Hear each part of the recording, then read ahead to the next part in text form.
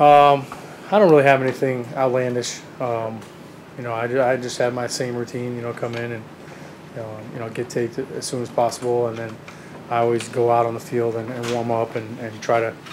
If it's an away field, just always try to make sure you see where the uh, 25 second clock is. Um, you know, make sure you, you always have in mind where that's at because every stadium is different.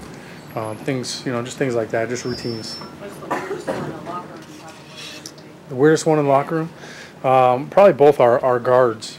Um, you know, Richie, we call him Ralph on game day because he, he he throws up before every game, so that's how we know it's time to go out when he starts dry heaving. Thanks And that, uh, by the way. yeah, he's uh, actually he doesn't produce anything, so he's just kind of like the fake Ralph guy.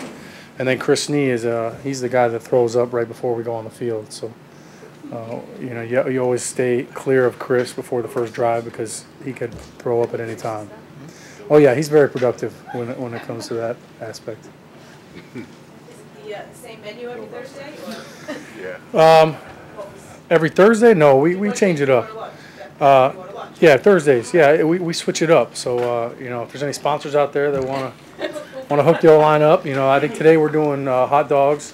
So uh, you know, hot dogs, sauerkraut, chili, chili dogs. You know, sometimes it's burgers, sometimes it's uh, tacos, burritos, whatever. Um, you know, you can't go wrong with the golden arches. So